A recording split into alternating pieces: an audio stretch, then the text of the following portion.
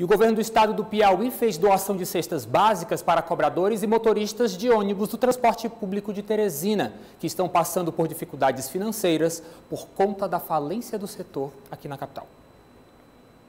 Josué foi um dos cobradores de ônibus que recebeu a cesta durante a ação realizada hoje no sindicato da categoria.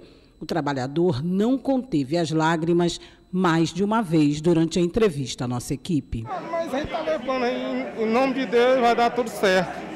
A gente espera que as coisas comecem a melhorar, né? Porque a gente elegeu um gestor, mas até o momento não está mostrando aquilo que a população queria, né? Esta mulher, mesmo depois de aposentada, continuou trabalhando como cobradora. Atuou em cinco empresas diferentes e contou à nossa equipe que em 50 anos de serviço nunca presenciou situação como a atual. Situação muito crítica, porque quem era nós, mas não é só nós, é o mundo inteiro, né? Está passando fome estão culpados da Covid. Então, ele só tem que rezar e agradecer que está viva. Os representantes do sindicato afirmam não aguentar mais os impasses e querem uma resposta para o problema. O usuário do transporte está abandonado. E nós temos um prefeito também que ele se elegeu prometendo muita coisa.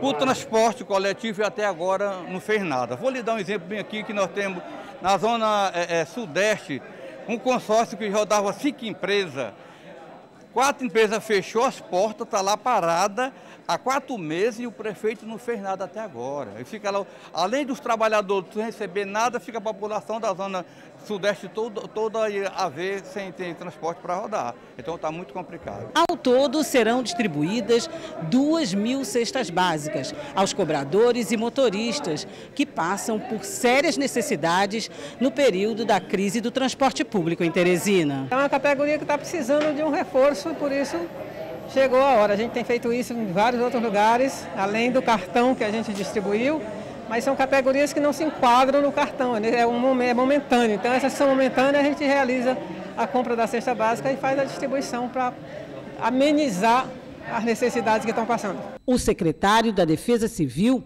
e o secretário de Fazenda, coordenador do próprio Piauí, também estiveram presentes na entrega de cestas básicas à categoria. O governo tem feito a sua parte liderado aqui pela vice-governadora dentro do próprio Piauí Social, com ações efetivas, como o cartão pró-social, que vai atender 15 mil famílias, além do auxílio emergencial, que atendeu 8 mil famílias com 200 reais mensais, para contemplar as pessoas que não estão sequer no Bolsa Família e que são, obviamente, famílias vulneráveis. E há ações específicas, como essa de hoje, para categorias que não se encaixam, mas que estão circunstancialmente com um problema grave em função das condições, que é o caso aqui dos trabalhadores do setor aqui de transporte coletivo, e também entregando diretamente duas mil cestas básicas, é, numa ação direta para é, socorrer essas famílias nesse momento desafiador. O sindicato, através de seus titulares, procurou o governo do Estado, na pessoa do governador Wellington Dias,